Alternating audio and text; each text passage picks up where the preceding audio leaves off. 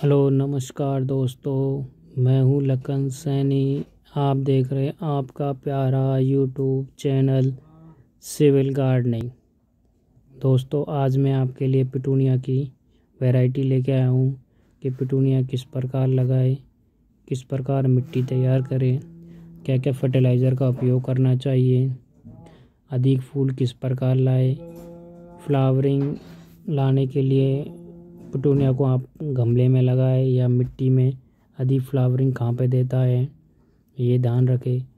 तीसरी बात कि इसको लगाते समय कितनी सनलाइट की आवश्यकता होती है? पानी किस प्रकार डालें? कितने दिनों में पानी डालें?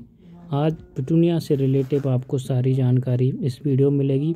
वीडियो लास्ट तक ज़रूर देखें। दोस्तों, चलो आज हम आपको बताते हैं कि पिटूनिया लगाने से पहले इसकी मिट्टी किस प्रकार तैयार करें। आप ये बात ध्यान रखें कि अगर आप मिट्टी में लगा रहे हो या पॉट में लगा रहे हो सेम प्रोसेस दोनों के लिए है। अगर आप पॉट के अंदर लगा रहे हो तो पॉट का साइज़ लंबा, चौड़ा हुआ, फैला हुआ वाला पॉट ले, जिसकी हाइट ज़्यादा नहीं होनी चाहिए नॉर्मल हाइट हो। वही पॉट ले, उसके अंदर ग्रोथ अच्छी करेगा, पिटूनिया को फैलने के लिए जगह मिलेगी अगर आप लंबे वाला पॉट लेते हो, उसमें ग्रोथ होती है, लेकिन वो फैल ढंग से नहीं पाता है। इसलिए आप गमला जो साइज़ हो, वही ले और अच्छा साइज़ ले, बड़ा साइज़ नहीं ले, फैला हुआ साइज़ लें आप। इसके लिए आप मिट्टी तैयार करने के लिए सबसे पहले आप कोकोपीट ले कंपोस्ट खाद ले और आपके पास जो मिट्टी अवेलेबल है, वो मिट्टी लें। इन तीनों को मिलाकर आप एक अच्छी मिट्टी तैयार कर सकते हैं।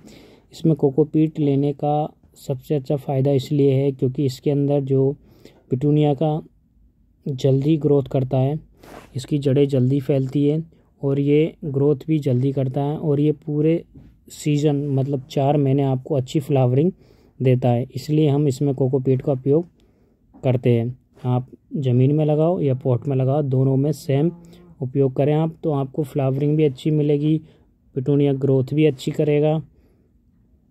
और दूसरी बात मैं आपको बताऊँगा कि आपको पानी कैसे डालना चाहिए। पिटूनिया में आप हमेशा ध्यान रखें, पानी पर डे पानी डालें आप इसके अंदर। इसको पानी की आवश्यकता ज़्यादा होती है, इसलिए आप इसको मॉइस्चर के हिसाब से ना देखकर, इसके प्लांट के हिसाब से देखें कि इसमें पानी की आवश्यकता ज़्यादा होती है, इसलिए ध्यान रखें। कि पानी आप इसमें पर डे पानी डालें। ऐसे नहीं कि आप गम पॉट को डेली फुल भर दें, इतना नहीं। नॉर्मल पानी डालें तो आपका पिटूनिया अच्छा चलेगा। तीसरा के अधिक फ्लावरिंग और अधिक फ्लावरिंग चाहने के लिए आपको अगर इसकी ग्रोथ भी अच्छी हो तो उसके लिए आप सरसों की खल का उपयोग कर सकते हैं, जो आसानी से आपको बाज़ार के अंदर अवेलेबल हो जाएगी। तो आप उसको लेके आए, घर पे ले आए, आधा किलो, एक किलो आप लेके आए जितने आप की पिटूनिया हो, उस हिसाब से आप, जैसे आपके पास दस पिटूनिया के पेड़ है तो आप उसके अंदर पाँच चम्मच सरसों की खल लेके और उसमें पानी डाल के और एक हफ़्ते के लिए उसको गलने के लिए छोड़ दें।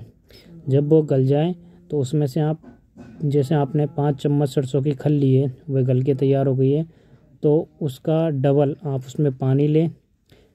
पानी लेने के बाद आप जैसे पानी डालते हो जड़ों में, उसी प्रकार उसको आप चार दिन में, पाँच दिन में उसके अंदर डालें। उससे ये रहता है कि उसकी ग्रोथ भी अच्छी होती है, वह फंगस नहीं लगने देता है और फ्लावरिंग भी अच्छी देता है। इसलिए और फ्लावरिंग अच्छी देता है। दूसरा के जो फूल होते हैं उसके अंदर कलर जो होता है, वो डार्क अच्छा कलर आता है और दिखने में भी अच्छा लगता है। और तीसरी बात है, ये है कि आप इसको फुल सनलाइट के अंदर ही लगाएँ। फुल सनलाइट के अंदर ही लगाओ नहीं तो अगर अदर्स आप दूसरी जगह लगाते हो जिस पे चार से, तीन से चार घंटे धूप आती है तो वहाँ पे इतनी अच्छी ग्रोथिंग नहीं करता है।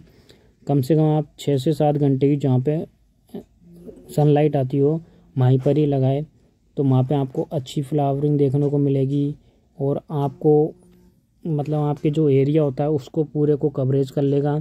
पिटूनिया कभी भी लगाएँ, आप मिक्स करके पिटूनिया लगाएँ, जैसे आपने एक जगह रेड लगा दिया जिसे मैं आपको इस वीडियो में बता रहा हूँ। तो इसमें एक जगह हमने रेड लगाया, दूसरी जगह हमने ये गुलाबी कलर का लगाया। है तो इनको आप मिक्स करके लगाइए। मिक्स करने से ये रहेगा कि जैसे ये ग्रोथ करेगा तो ये पूरे एरिया को कवरेज कर लेगा और इसमें अलग अलग फ्लावरिंग देखने को मिलेगी। तो ये बात ध्यान रखें। अगर आपको वीडियो अच्छी लगी है तो इसे लाइक, शेयर और सब्सक्राइब ज़रूर करें। धन्यवाद।